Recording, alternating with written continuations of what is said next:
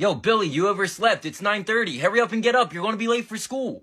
What? Are you serious? Why didn't Mom wake me up? I have to hurry up and get ready. Mom had to go to work. She told me to wake you up, but I overslept too.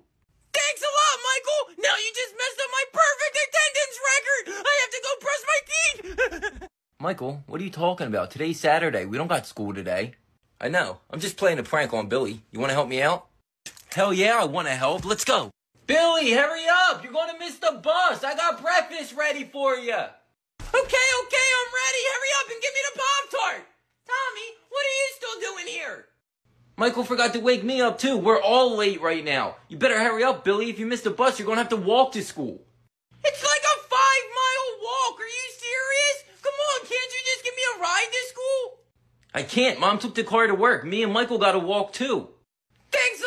Michael. I'm going to tell Mom you made me late after school. You're going to get in so much trouble. I better hurry up.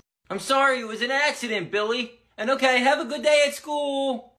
See you after school, Billy. You want to go play Fortnite?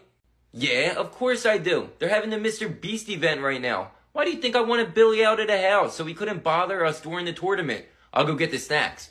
I don't think I tell you this enough, Michael, but you really are a genius. I'll go get everything set up. Finally, I'm here. Wait a minute. Where is everybody? Where's all the teachers' cars at? And why isn't anybody outside playing? Wait, what's today? I better check my calendar. I can't believe it. Today's Saturday. Are you kidding me? Boys, I just had to leave work early to pick Billy up from school. He told me that you guys tricked him into believing today was a school day and he had to walk to school. You're both grounded. Get up to your rooms right now. totally worth it.